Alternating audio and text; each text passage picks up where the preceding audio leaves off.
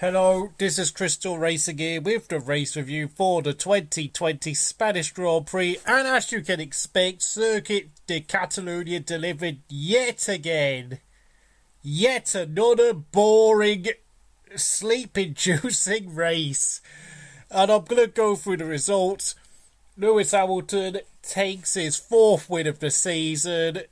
He builds his points champ his championship lead to 37 points for the season over Max Verstappen, who is now very much in second place with 95 points. 10 out of 10 to Lewis, wins by 24 seconds. What else is there to say? Took pole position, just all round, just a brilliant weekend again from a man who is now pretty much bang on certain to win his seventh world championship. Second place um, is Max Verstappen, another 10 out of 10 performance.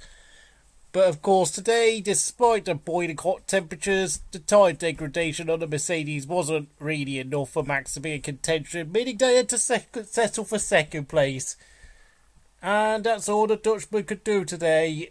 Third place is Valtteri Bottas, 7 out of 10. A horrific, stinky start from the Finn today fell to P5 until, and then of course he quickly overtook Perez. But I think for goodness sake, to get overtaken by not only Max but both racing points off the start line is just. It is truly awful. It is just not good enough. That's why he's only getting 7 out of 10. And he finished almost 45 seconds behind Hamilton. Lance Stroll, 8 out of 10 fairly good weekend all round for the Canadian. Beat his teammate, but as it was, he, along with the rest of the field, got lapped today. Literally, absolutely nobody was able to, to stay on the lead lap before from Max Verstappen. Goodness me, that Mercedes is just OP at the moment. It is scary. I mean, we shouldn't be surprised because, of course, well, Sergio Perez was nine tenths slower than the Mercedes in qualifying, so that makes perfect sense. 8 out of 10 for for beating Perez. Meanwhile, in fifth place, it was Sergio Perez coming back from his um, from COVID 19. Of course, he got a negative test this weekend, meaning he could race, so it's 7 out of 10 for the Mexican. Yeah, I mean, considering uh, Hulkenberg was able to outpace Stroll last weekend, for Perez to come back and get outpaced by Stroll himself is a bit. Hmm, it's not been. It's not actually been that great a season for Perez, I have to say so far. I I'm really have not been impressed by Sergio Perez this season for some reason. He just he doesn't seem to be on it at all. I know he's beat. This is his first race in about what was it four weeks, but come on, mate uh, Carlos Sainz, sixth place, 9 out of 10. A very good performance from the Spaniard today. Um, he hasn't exactly had the best season so far, but today was a major improvement. Managed to make the, um, well, yeah, fairly, fairly good pace all round all weekend at his home track. And then, of course, in seventh place, it is Sebastian Vettel, 9 out of 10, just like Sainz gets 9 out of 10. Qualified P12, only two attempts quicker than Kimi. Goodness me, I was seriously fearing the worst for Vettel today. But in the race, he made his own course, did a one stop, and got P7. Made the, the bloody soft compounds last. Went in. Um, P8 was is Alex Albon, 5 out of 10, yet again. Nowhere near close to Max Verstappen. And yes, I know people will say, well, they experimented with Albon, putting him on a hard compounds for his second stint, but. And of course, yeah, Albon just wasn't that. was impeded to some extent by that, but. You know, to finish P8 in a Red Bull is just frankly not good enough. I know I mean, let's be honest, this is no better than what Gasly was doing in the first half last year. And yes, I know he's being used as a guinea pig for Max, but if he was quicker, he would not be being used as a guinea pig. That's just a fact. Red Bull know that Albon's car is just a lost cause at this point, so they just.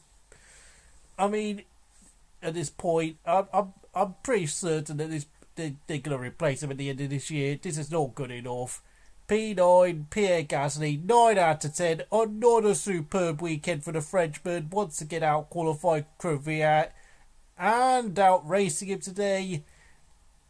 And did a very good two, you know, used two medium compounds and made it work to brilliant effect. 10th place, final point scorer, Lando Norris, 7 out of 10. Um, nowhere near the pace of Sainz all weekend, so I'll give it 7 out of 10. P11 was Daniel Ricciardo, 8 out of 10. Uh, Renault failed to get out of Q2 and they finished outside the top 10. So, really, frankly, I don't know what else Ricciardo could have done. 8 out of 10, no pace from the car week all weekend. P12, Danny Kvyat, 7 out of 10. Oh, God, he's becoming a bit of a mad driver at this point. Just a really quiet season from Kvyat so far. He needs a big result soon, otherwise, he's going to probably get yeeted out of that Alpha Tauri seat, especially if Albon's coming back next year. P13, Esteban Ocon, 6 out of 10. A very, very poor weekend from Ocon all round.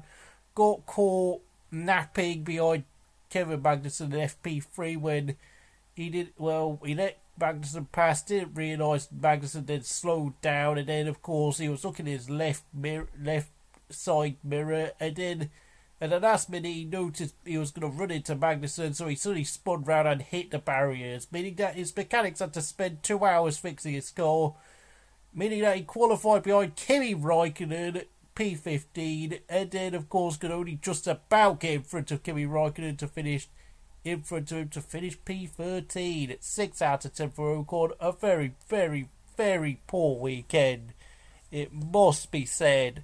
Not impressed one bit but he did though try to make the one stop work like his teammate, but it really got them nowhere if we're going to be honest. P14, Kimi Raikkonen, 8 out of 10, did all he could in what is a dog of a car. Qualified an impressive P14. Yes, I know Giovinazzi messed up, but Kimi qualified almost a second faster. And then, of course, P15, Kevin Magnussen, 7 out of 10 usual fare. What else can he do with that horse? It's just awful. P16, Antonio Giovinazzi, 7 out of 10. Not much else to say. George Russell and Nicholas Latifi, P17 and P18. I'll give them 7 out of 10 because Williams' car has just not been very quick this weekend. And if we're going to be frankly honest, there's not much else those two can do either. But of course, we get to the guy who finished in P19, Romain Grosjean. Just, you know, Pete. He was fifth fastest in, pra- in first practice, sixth pra- fastest in uh, second practice. Uh, but after that, he had a terrible qualifying session and an even worse race where he spun. He got shoved off the road by Giovinazzi, and then he um, and then, of course, there was that incident where he, you know, he was weaving on the straight whilst Kimi was overtaking him. Four out of ten, the reject of the day. What an awful performance. Like, I mean, and of course, who's my driver of the day? Oh, what a tricky one. I think I'm going to give it to Sebastian Vettel because why not? Just seriously, I, I mean, what, what an improvement, I've got to say. And of course, with that new chassis, well, he looks kind of a bit better than usual. And of course, we get to the to the only retiree of the race, Charles Leclerc. Apparently, he said he was on for a P5 finish. Don't know about that. I mean, he did spin, so. But of course, his engine broke down, meaning that he was not able to finish. So for me, that's 8 out of 10 for Charles Leclerc. If you enjoyed this video, please like, subscribe to Crystal Racing, and I'll see you again next time.